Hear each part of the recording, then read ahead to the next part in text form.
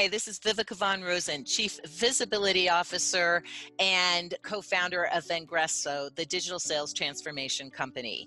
So, there is a newish feature on LinkedIn. It's been around for a little bit, but no one's using it, and it's super effective.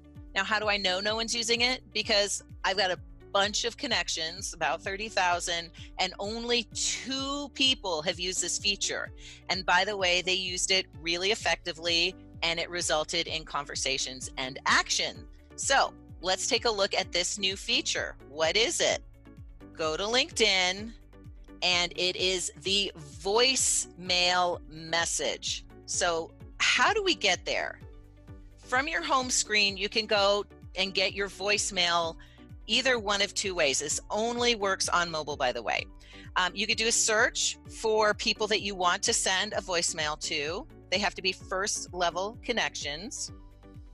And once you get to their profile, you'll just click on message.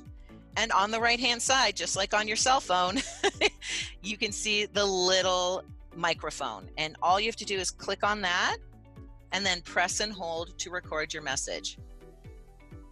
And then once you have done the message, all you have to do is send it.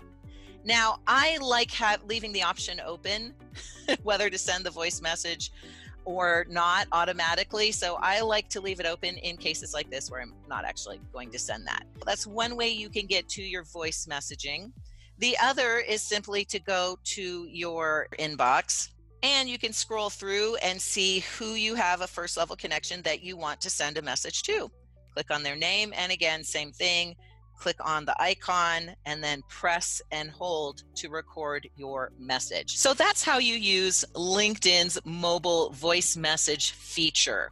And make sure to follow our YouTube channel because next I'll share best practices for using voice messaging.